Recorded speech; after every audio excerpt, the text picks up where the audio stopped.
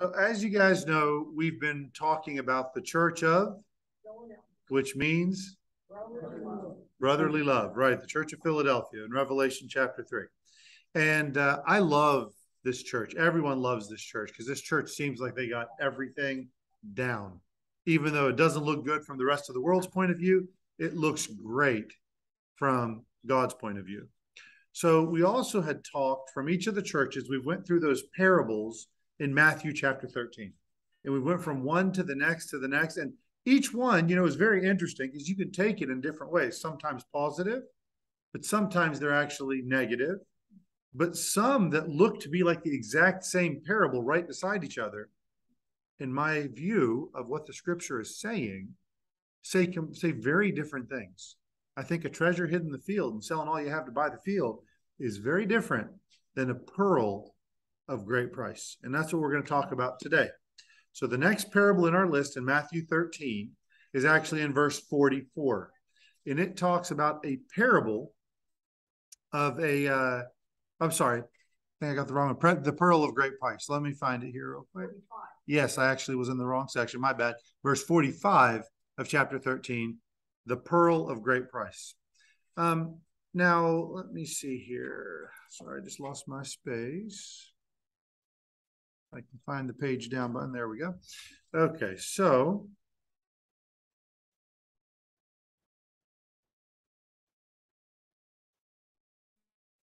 I'll get there eventually. I got my notes in Thessalonians up instead of my parable. All right.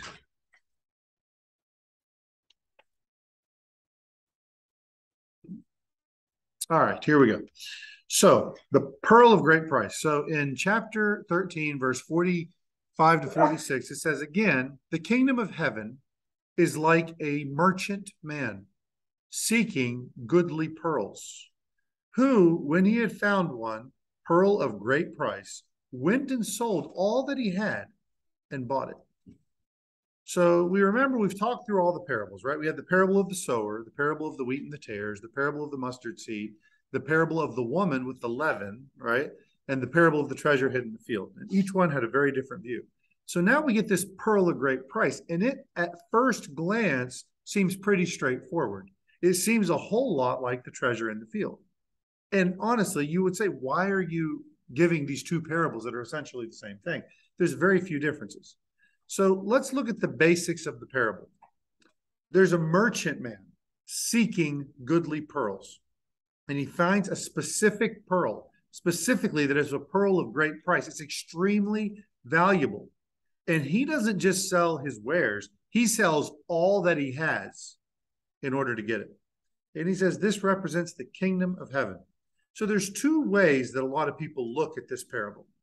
Some read it and they understand that humans in general, mankind in general, they're seeking some greater purpose, some greater truth, the meaning of life, the purpose of life. And if they can find a purpose to their life, they abandon everything else to seek it out. And that has some merit because people are looking for God. They want to find God, right? And um, of course, usually, whenever they find what they consider to be God, it's actually a corrupted, man made version of God. It's actually not God at all. And that's why we find a world full of heathenistic people, even in a Christian nation even among churches, they'll make a God that's after their own image. They don't realize that we are made in the image of God. But history, you know, also shows that many people indeed do find the word of God, do find Jesus Christ, and they abandon everything. Look at Paul, for example. He abandoned all that he had to seek Christ. Look at the apostles. They abandoned all they had to follow Christ. So that it does have some merit to look at it as us seeking God and Jesus being that pearl that we're going to give everything up for. But others read it and they see Jesus as the one seeking the pearl. Okay. And when he finds that pearl of great price, he gives up everything else so that he can make it his own. And the pearl, of course, in this sense, is the church. The pearl is his bride.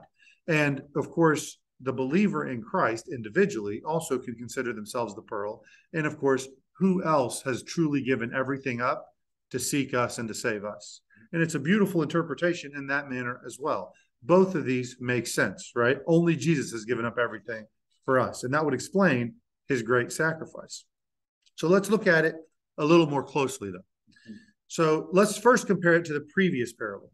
So back in verse 44 in Matthew 13, says, The kingdom of heaven is like a treasure hid in a field, which when a man hath found, he hideth, and for joy therefore goeth and selleth all that he hath, and buyeth the field. So here we have a man that happens upon a treasure hid in the dirt, and then he goes and buys the dirt that contains the treasure, right? He buys the plot of land. And the treasure remains hidden in the field. He hid it back in the field. So this parable that we're talking about now, this man's actually out seeking pearls. It's not a random find amongst a bunch of dirt. He's actually out seeking something valuable. And he comes across this pearl and he sells all that he has because he has to have it. The treasure from the previous parable, it's not really described. We don't know what it's worth. The pearl, we know what it's worth. It's of great price.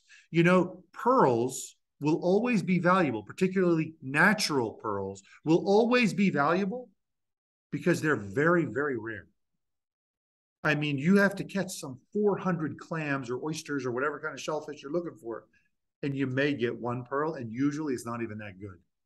To get one pearl of great price, it can take a lifetime and longer. Some people will never find it. So, the parable regarding the treasure in the field, we had a lot of dirt as part of the package. The parable regarding the pearl of great price, it was 100% valuable, every ounce of it. There was no extra stuff that came with it. It was extremely valuable. So if you had to be either the treasure in the field or the pearl, if you're going to be in the parable, which would you rather be? Well, I know what I'd rather be. I'd rather be the pearl of great price, right? So there are some distinctions, but let's look specifically at this parable. Let's read it again. 1345. Again, the kingdom of heaven is like a merchant man um, seeking goodly pearls in verse 46 who when he had found one pearl of great price went and sold all that he had and bought it. So the first thing we see is the kingdom of heaven's like a merchant man. The thing about merchant men is they travel from place to place. They don't just you know it's not in their own city. They're actually going from place to place to look for what they can find and sell and buy, right? That's what they do. You know, there was another merchant man, somebody who came from a faraway land to seek something, right? In Luke chapter 19, verse 10, says, For the Son of Man is come to seek and to save that which was lost. He's seeking something, he's looking for something. Jesus came looking for us, looking for the church.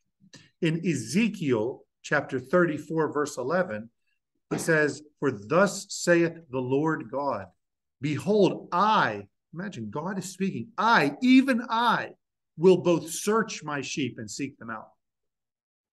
That should send chills down your spine to know that the God of the universe, what's that? That's Ezekiel chapter 34, verse 11. That I, even I, will both search my sheep and seek them out. That's God Himself talking about me and you and anyone who will accept His offer of salvation. So, in any, in order for any merchant person to own something completely, you can't pay for half the product, right? I can't say here, here's ten percent of the money, and I'll take it. No, I can't put it on layaway, right? Kmart, I remember used to have a lot of layaway. Walmart may still do it. I don't know, but you have to, in order to purchase it, you have to have something that says paid in full or tetelestai, as you may have heard it before, right? Complete the payment. It has to be paid in full or the transaction is incomplete. Someone else can come and take it, right?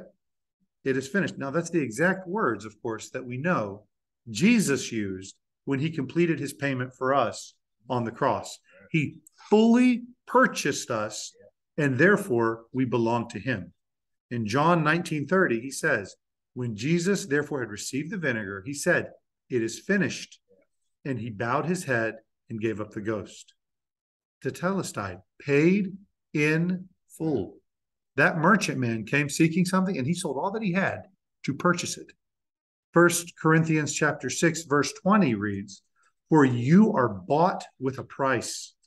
Therefore glorify God in your body and in your spirit, which are God's. You understand? He came seeking that pearl. He paid for it. You are now his. He didn't pay for half of you, he paid for it all. So God himself came seeking goodly pearls, and he found the pearl of great price. So now let's pause for a minute and consider pearls. Where do pearls come from? Well, guess what? They start out as something bad. All pearls start out bad. They're either irritants or an infection or some kind of problem on the shells, like uh, fall into the shells of mollusks, such as a mussel or an oyster or a clam. And this little bacteria, this bit of food, whatever it may be, gets stuck in there. And these mollusks, they start to secrete a little, a couple different substances, right? I won't say body and blood, but let's just say they use aragonite, called it's a mineral, okay, and conchiolin, which is a protein, or the solid and the liquid get joined, right? And they join together to make the word nacre, which is the mother of pearl, okay? And that's deposited around the irritant, whatever it may be, and it grows over the irritant, turning it, this rough shaped irritant, into a very smooth surface, beautiful circular structure. And interestingly, are they all white? No. Are they all black? No. Are they all yellow? No. They come in every color, every shape. There might be oblong, they might be circular. And there's something there that we should just recognize, right? So they come in all this variety. And how long does this take? I mean, immediately the process begins. From the moment they enter inside of the oyster or the mollusk, the change begins to happen. Sometimes it takes a while to rough up those, to take out those uh, rough surfaces and make them smooth, right? But it happens over years. Process take years and years. So most of the pearls you see today, they aren't these natural pearls. They're fakes. They're artificial pearls that people grow in a farm. They take a bunch of oysters, they put them in the farm, they introduce exactly what material they want.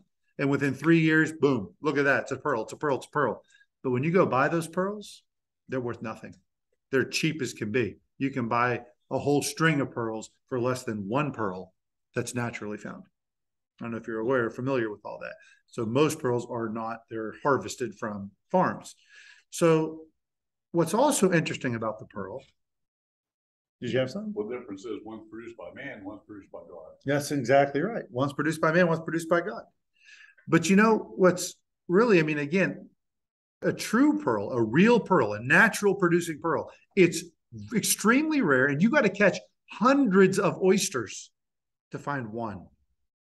And if you actually think about it, the pearl has no value, right, inside the oyster once it's been changed, you know, you got to do something with it, right? It has to be removed, right? So they're removed from their place to become truly valuable. And when they are removed, you know what good oysters are? Or sorry, what good pearls are? You can't eat them. Can't flavor anything with them. They're only good to be used as jewelry. They're only be used to glorify the owner. That's all they're good for, right? Um, they have no other purpose. There's nothing else you do with them. They just glorify the person who's going to wear them. I hope you guys see all where I'm going with this, right? It's amazing. Isn't it incredible? Yeah. So, again, the other thing about all this is this had to be somewhat weird for the Jews to hear. Jesus had talked about pearls before. Don't cast your pearls before swine, right? he had talked them, and even in the Old Testament, you know, pearls were known to be valuable because they were rare. Um, but their value to the Jewish people has mainly been in merchant use, not necessarily to adorn themselves. Because in regard to spiritual things, the pearls come from unclean creatures, right?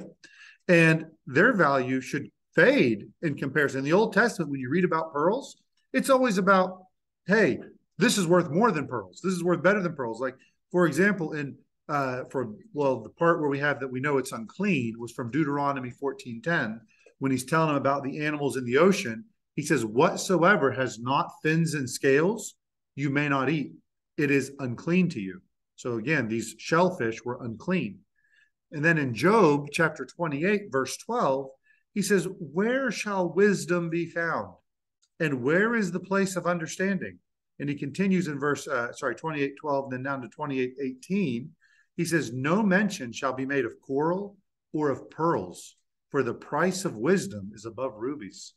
So pearls are kind of like, yeah, yeah, they're great, but they're nothing compared to wisdom, right?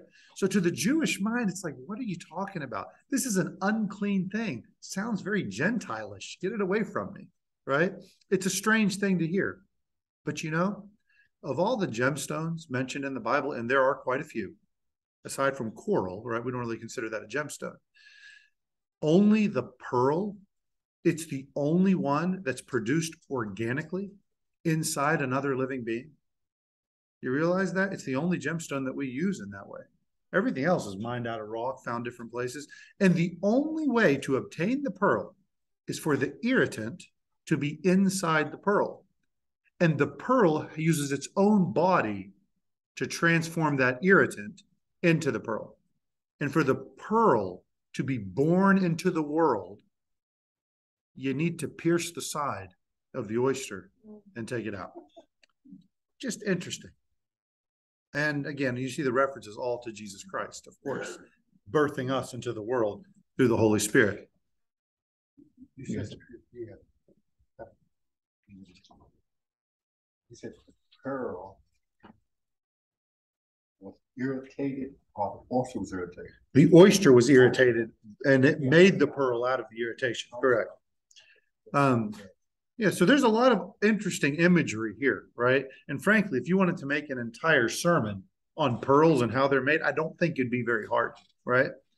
But the fact is, we're all sinners and we've had nothing ever. We've never had anything to offer Jesus except our rebellion and our sin. That's it. But that doesn't stop us from being accepted into Him and being transformed into something beautiful. And again, not all believers look the same, just like not all pearls look the same, right? Some are black, some are white, some are yellow, some are pink, some are tall, some are short, some are a little rounder than others, right? We all have different features to us. What's that? okay, you don't have to talk about me. I'm right here. But okay. Um, but the thing is, the way that you make the pearl, it requires pressure and time, just as the church is constantly on, and individual Christians are constantly under pressure, right, and under duress in this world. But our new birth only is possible by Jesus' death and sacrifice for us on the cross. But ultimately, what's our purpose? Is to glorify the one who purchased us. The pearl of great price is to be worn. Another very important question. Yes, sir. I ever heard of a man being called a pearl? Have I ever heard of a man being called Pearl? No, I have not. The bride, that's exactly right. So, the purpose of the church and the purpose of the bride of Christ is to glorify the one who purchased them, that pearl of great price. It is a non specific, I'm not saying there aren't Jews in the church, there are, but it's not specifically a Jewish treasure. It came from this unclean creature. It was in many ways non Jewish. So we are from Israel. Of course, we are, Israel exists, Israel is there, but the church is from not just Israel, but from every tribe, nation, tongue right? So all true, true born again believers are unfortunately not as plenteous in this world. There are a lot of people who claim to be Christians, or we might say artificial or farm raised Christians, right? Well, my daddy went to church, so I went to church. Well, what is it? How do you get to heaven? I guess I'm a good person. Not the answer. Only one path the blood of Christ, right? There's a lot of people who think they're saved, but they don't know anything about why they need Jesus, right? So artificial Christianity is a dime a dozen.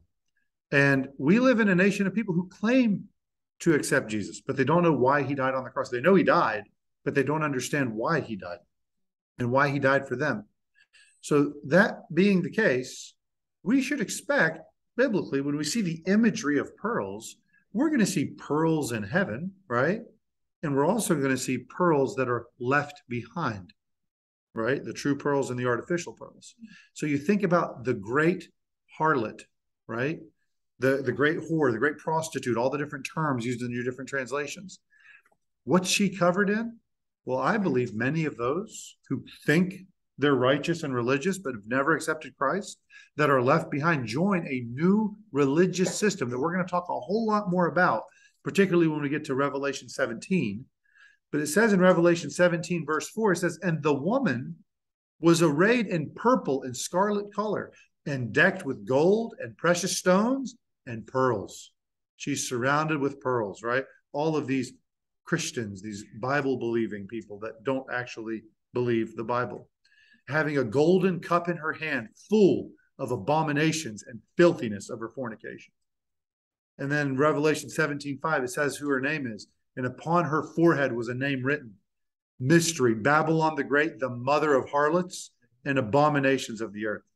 So you can imagine the type of pearls that are going to be filling this woman in this false religious system are those who just claim Christianity. Again, they're a dime a dozen. Everyone out there, oh, I'm a Christian, I'm a Christian, but they can't tell you a thing about Jesus Christ. The only thing that separates me from them is nothing good about me. I'm probably worse than most of them.